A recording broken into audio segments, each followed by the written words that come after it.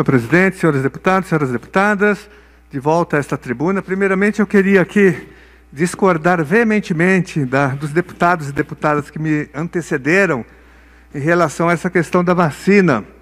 É, até porque, e quero repudiar também veementemente a posição do Ministério da Saúde, do, no, do governo negacionista, do governo da cloroquina do Bolsonaro. Um absurdo que alguém leve a sério o Ministério da Saúde, o ministério que sabotou a vacinação, sabotou o isolamento social, né, que incentivou o uso da cloroquina. Não é possível que alguém leve a sério esse ministério ou alguma afirmação do ministro da Saúde. Então, queria fazer essa ressalva e eu defendo vacinação para crianças, adolescentes, para toda a população brasileira. É o que o mundo inteiro está fazendo, é a orientação da Organização Mundial da Saúde, da ciência, dos especialistas. E a gente não pode alimentar o negacionismo, porque a vacina salva vidas e vai salvar